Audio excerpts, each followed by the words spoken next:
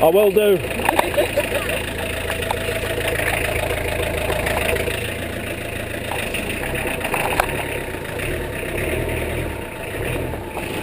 Right, here goes nothing.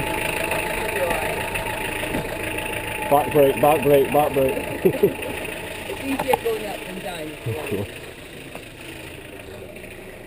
Not for me this time though.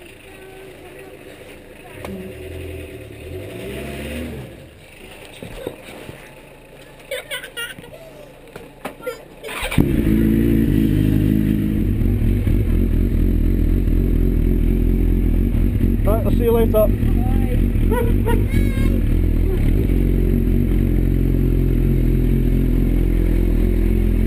See you later now, See ya.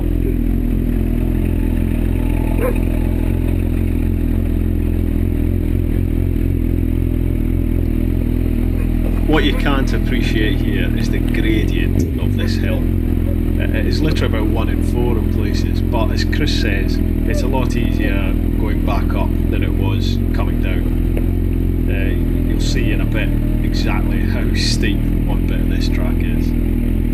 Great practice though for what's to come.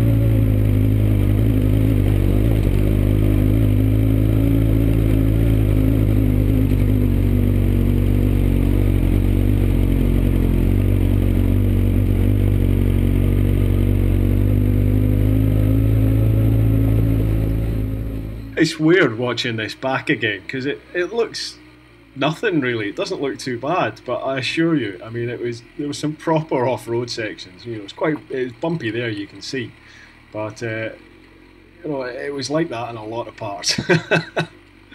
but great adventure, and uh, you know, Ken, Chris, and uh, the family, the kids, fantastic hosts. Really were fantastic hosts, and uh, I owe them a lot. They showed me great hospitality. Thank you so much, guys.